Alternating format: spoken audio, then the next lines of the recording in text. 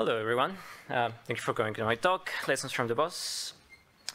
So my name is Juan Jose Lopez. I am a software developer at Google Montreal. It's been six years that I'm there. I am part of the cloud vulnerability research team. Uh, I'm into fuzzing, and I'm going through a kernel hacking phase.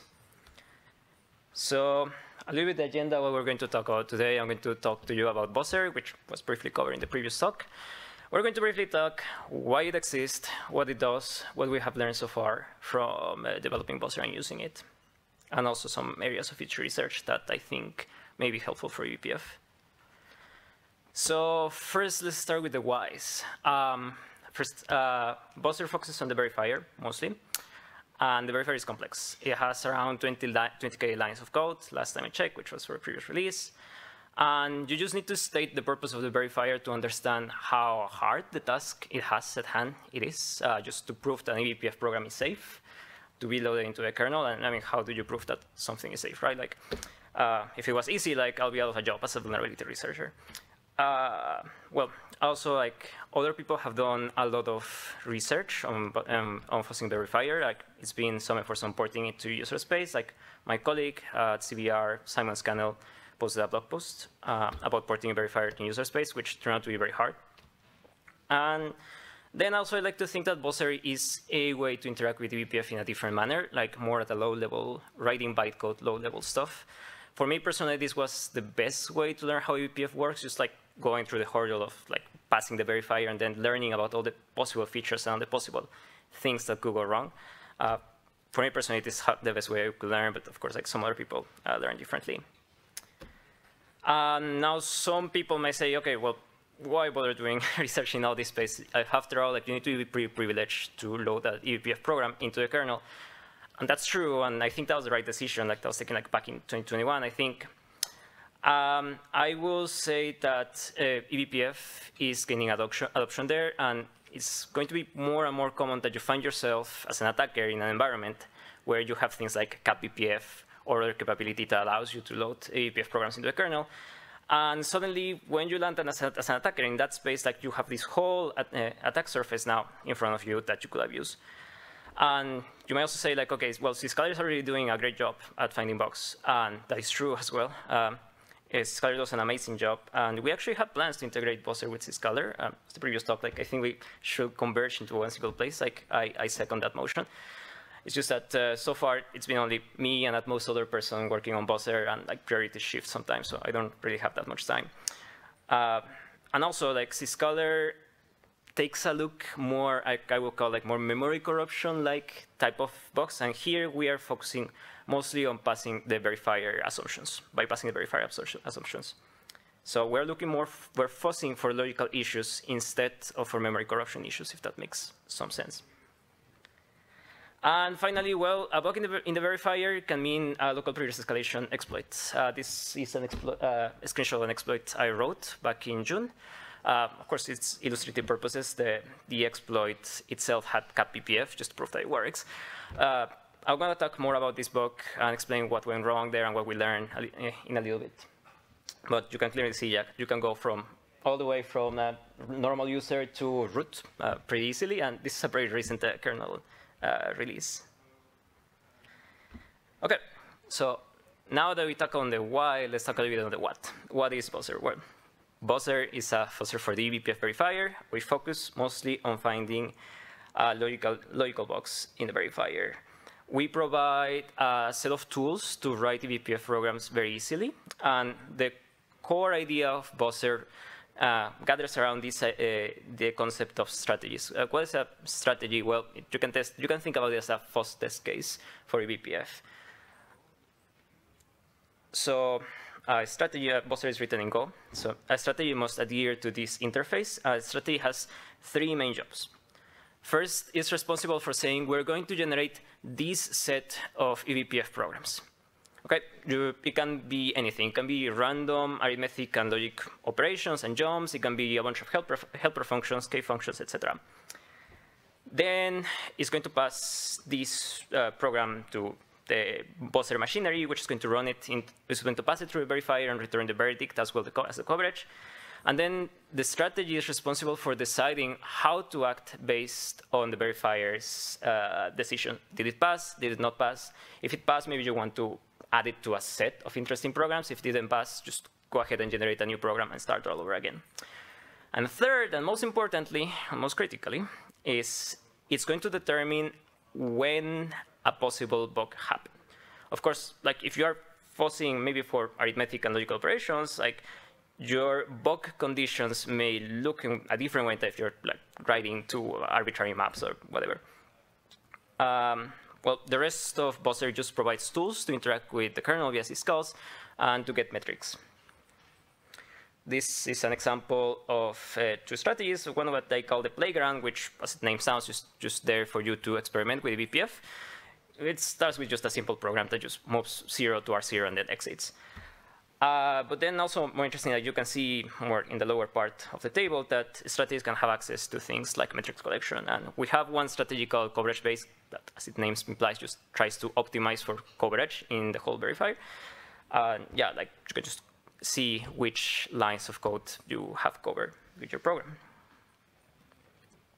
Recently, thanks to the work of an intern that we had over the summer, we have BTF support. So now we can describe uh, BTF, and we can embed program, uh, BPF programs with its uh, BTF description into the kernel, and this opens the door to a lot of new functionality like uh, helper functions, uh, kfuncs, uh, etc.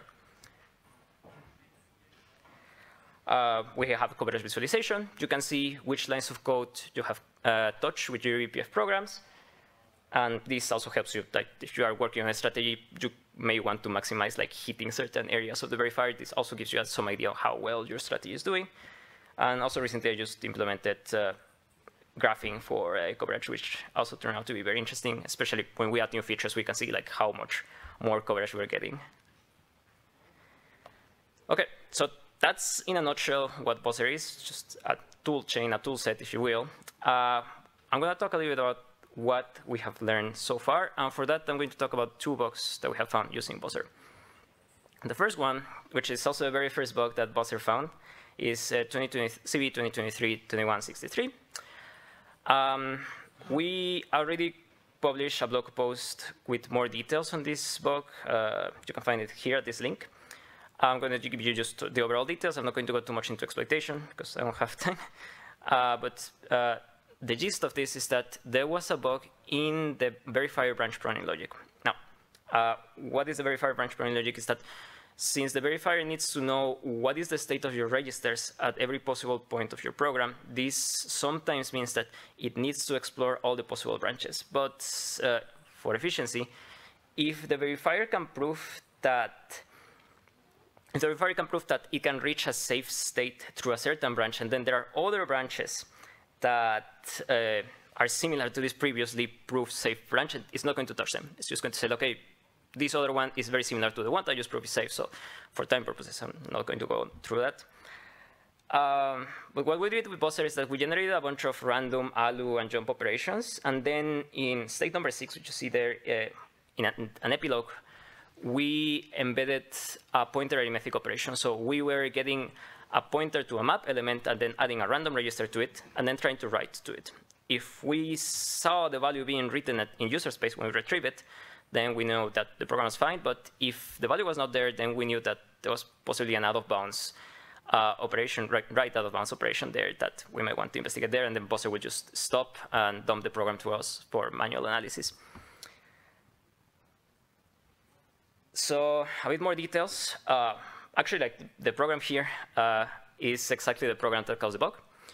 And what the verifier was first doing is that it, it, was going through the false branch of every jump operation first. So it first started evaluating the path one through six without uh, skipping anything.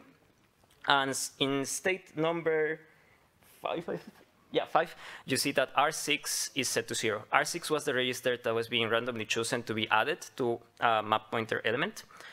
And the only value that the verifier allows you to add to a map pointer element is zero. So in this case, the verifier was, well, this is fine, this is safe, this register is always zero. Um, and another important concept here is that when there is a security sensitive operation like pointer arithmetic, the verifier will mark the registers in that operation as precise, and it will take a bit more care with the, uh, what happened to those registers. However, the bug here was that not all registers involved in that preciseness was being marked as precise. So if you see here on state number four, R9 is actually contributing to the value of R6. And in the context of this bug, R9 was not being marked as precise. So what this will mean is that once the verifier goes through branch 1 to 6, um, it will assume that the rest of the branches were equivalent to this one, and therefore it will prune them. But uh, what happens at runtime is that the path that the program will take was 1, 2, 4, 6, completely bypassing the setting to R6 to 0. Um, what this means is that we had a register with an arbitrary value that we could just add to a pointer, and that was enough to write a local privilege escalation bug, uh, exploit, sorry. So yeah, uh, the verifier was missing marking R9 as contributing to the preciseness of R6. And what did we learn from all of this? Uh, this was the first bug that Buzzer found. Uh, it was pretty exciting to work on this. It was pretty exciting to see your, your project really work. Um, well, but the first thing I learned is that the verifier has a very complex job to do. and it's very, is, the verifier is a very complicated piece of software that does an amazing job. Like, don't get me wrong. Like, it's amazing how you can keep track of so many things. But of course, like, on something as complicated as this, there's going to be holes in the logic somewhere. And my colleagues and I agreed that this bug may have been very difficult to spot via manual analysis just because of the multiple state tracking and multiple variables that go into all of this. Like sometimes we were, the, this is the simplified version of the program actually. Like the original program that caused the crash had something around like 200 instructions. So minimizing all that and then figuring out what was going on, well, it was pretty hard. Um, and then uh, if someone comes and asks me, okay, what is a good place to start looking for or keep looking for vulnerabilities in the verifier, I'll say it's branch pruning. Uh, it's just uh, something complex that with natural code changes the software development cycle, like I would expect that more bugs will manifest here, even though I, we're still yet to find new bugs with Buzzer in this area, but I wouldn't discard it. Okay, so that was the first one.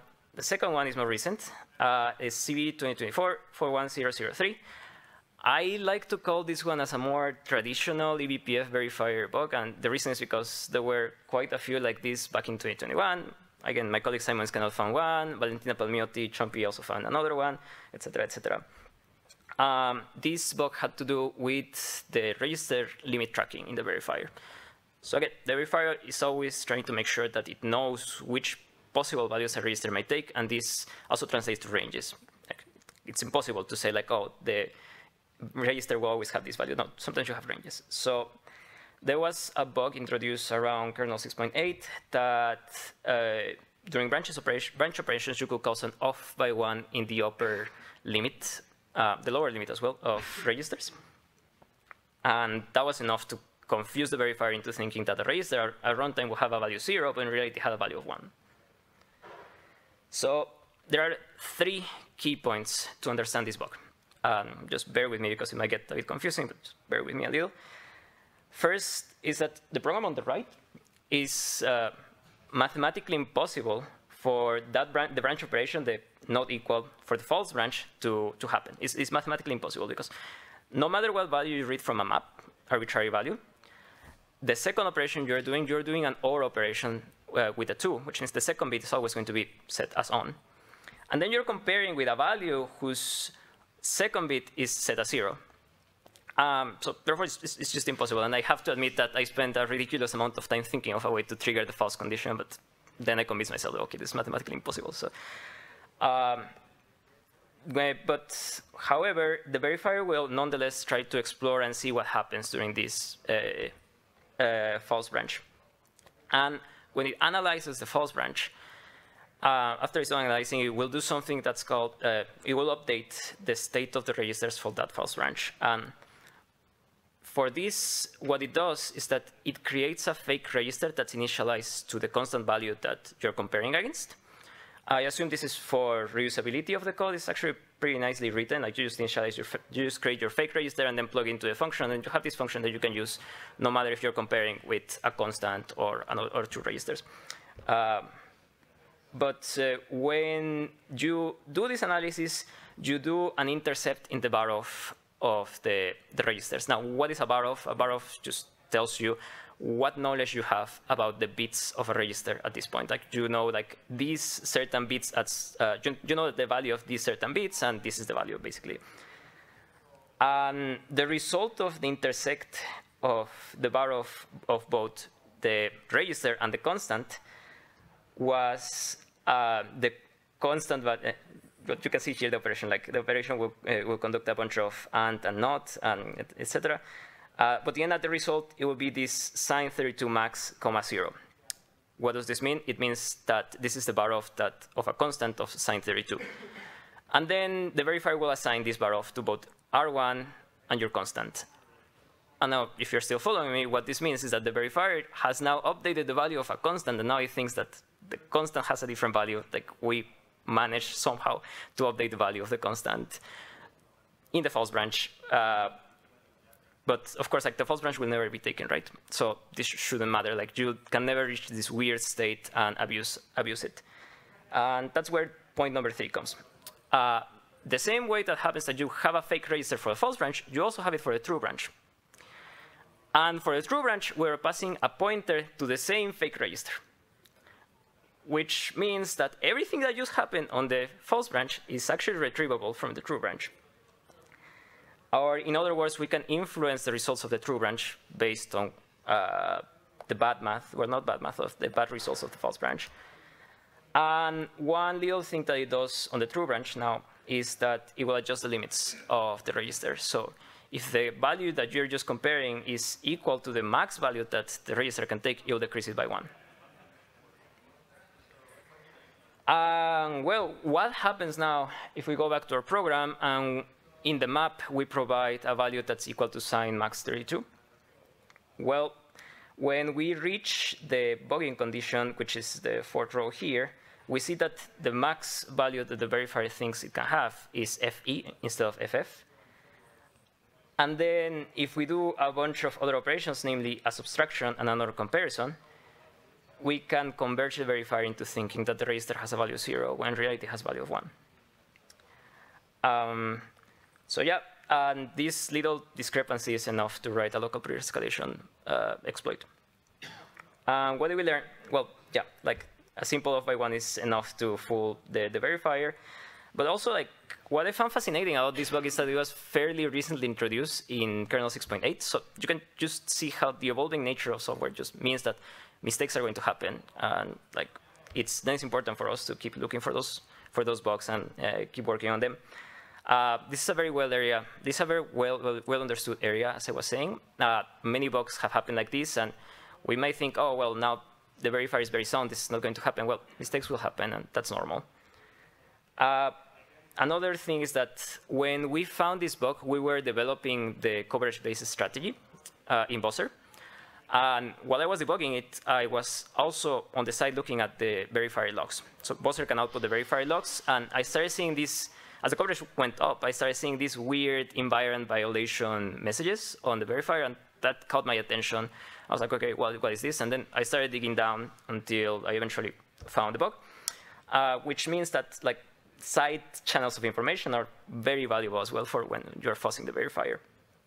But this also means that there is a big yet to be solved problem in Buzzer, which is when you verify an eBPF program, you have this set of assumptions of what the state of the program, of the registers can be at any point. But that, that information is gone the moment the verifier exits. And when you execute your program, like maybe there was a very subtle off by one bug, but you will never see it because it never leads to like a crash or something else. So how do you extract those assumptions of the verifier at verify time and then validate them against the runtime, which may, uh, the answer may as well be in the test oracle in state embedding as uh, the previous talk was saying, but at least in Buzzer is still uh, yet to be solved problem. And yeah, that's the first uh, uh, area of future research that I like to propose here, like how do you compare the verifier assumptions against what actually goes down at runtime. Uh, another thing is that it's uh, it'll be interesting to expand support of kfuncs and other helper functions now that Alanis Negroni are interns uh, support for BTF. Better coverage for fuzzing is always good, and who knows, maybe forcing uh, eBPF on other platforms once support for that arrives. And that's everything I have for you. So if you have any questions, I may now take them.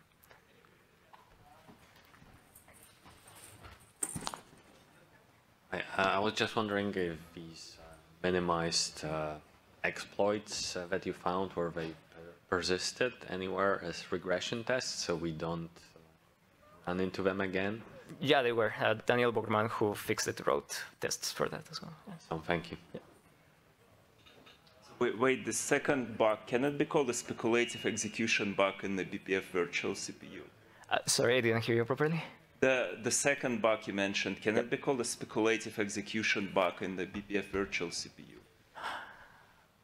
I am not fully sure how. we speculated to the yes. false branch that is never see, executed, and we Yeah. observed the effects of Yes, that yes, yes. speculation on the true branch. Yeah, yeah, yeah, you're absolutely right. Yes, like when you actually explore that branch, the, the verifier tells you like, oh, speculative execution, and then like these uh, side side effects happen. Yeah. Yes, we can call it this way. Yep. never uh, never thought about it like that, but yeah. Yeah, I had a question in the beginning. I mentioned that the verifier is root-only interface, and I wonder why is that? Like, say, if I'm attaching BPF program to my own socket or device in my user namespace, why would anybody, anybody care and uh, prevent that? Uh, sorry, I didn't get it properly. Can, you- can you repeat?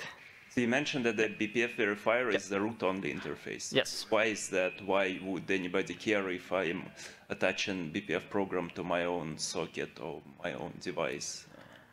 Well, that- we uh, we attach programs just to socket or to run devices just to be able to interact with verifier, right? Like if uh, you were able to enter a, another BPF program through another interface, like of course, like if it also goes through a verifier and you can also tr- trigger it, like you could also uh, execute it. Like you could also like cause bad behavior. So it's not root-only. Is- Uh, no, no. Maybe I could try to answer your question. It's uh, not NS capable, it is true capable, it is true root. So even if you are in, inside the user NS, you're still not a real root Yeah. because of bugs like this. And same with CAPBPF, it's like true, you need user NS Yeah. capability, either real root or CAPBPF. So it's only because of potential bugs. Only because of, well, you guys doing a good job finding all those bugs.